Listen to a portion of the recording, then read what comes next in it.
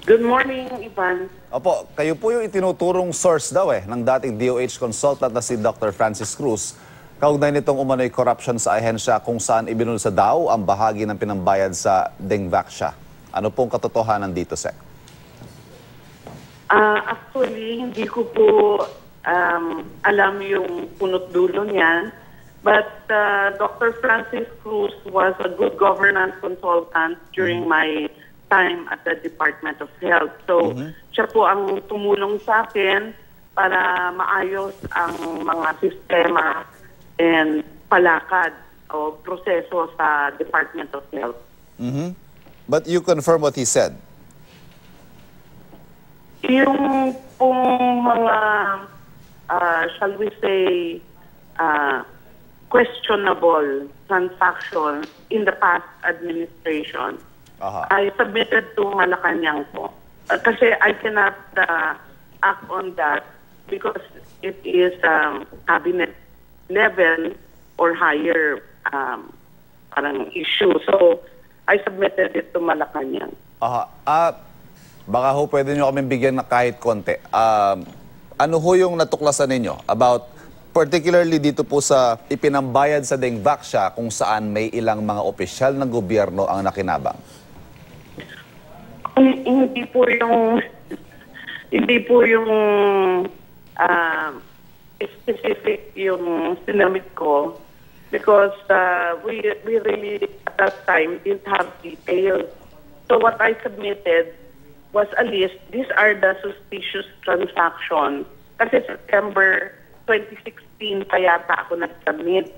These are suspicious transactions from the previous administration. So, Aha. Dembaksha was one, yung school-based uh, health station, and then uh, uh, other uh, health facility enhancement program project. Opo, ito hong ah, sinasabing mafia daw sa ahensya. What do you know about this, Sec?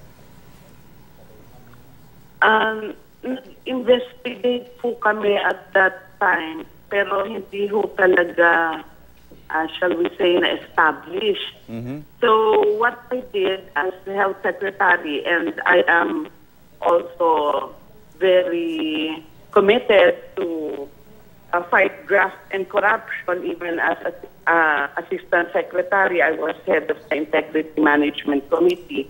Lahat po ng uh, individual sa DOH na may suspicion po kami kasi at that time wala pa po uh, clear na mga documents, mga uh, investigation which I submitted to the Office of the Ombudsman for lifestyle check. Sec, yung mga may involvement po dyan sa sinasabi ninyong suspicious transactions, nasa DOH pa po sila ngayon? Opo. Okay. Nung ah, lumipas na po no, yung term ninyo bilang health secretary, pero bakit po hindi nyo yan ibinunyag during the time na kayo po ay nasa, nakaupo pa sa DOH? Nag-investigate pa po at that time. And um, I submitted their names to the Office of the Ombudsman as Health Secretary for lifestyle check. May mga nabanggit din po si Dr. Cruz eh, na ghost project sa pagbili daw ng mga kagamitan at gamot sa DOH.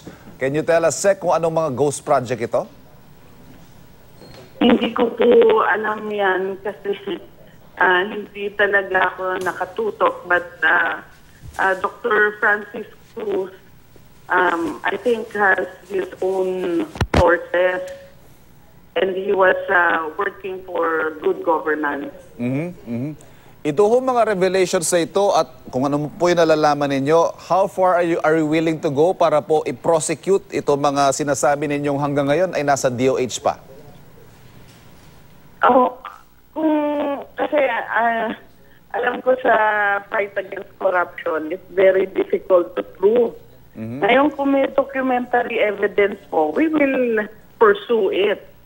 Pero ang problema dyan, kung may hearsay and then there can be cover up, I don't know how we can uh, resolve that.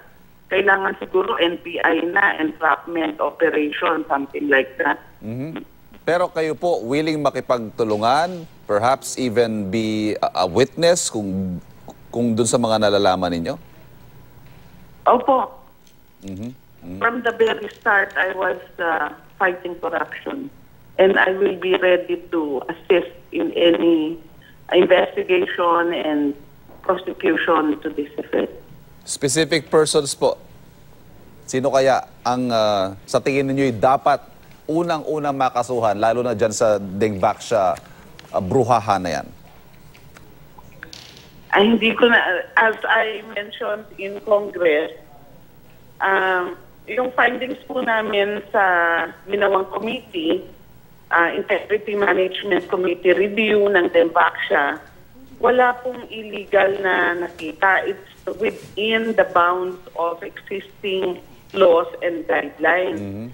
So, ang sinasabi ko, it's not illegal, it's unethical. Yes. Pero yun siguro, we need to review our existing laws, particularly the procurement law and the election law, kung kailangan ni-expand. Kasi ang election ban is March.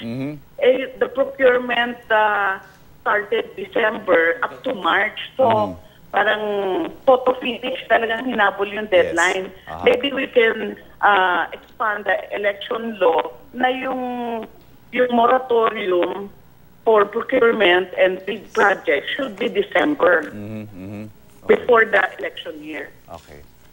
Secretary, maraming salamat po sa panahon ninyo. Magandang umaga po. Magandang umaga. Former Health Secretary Pauline Ubial.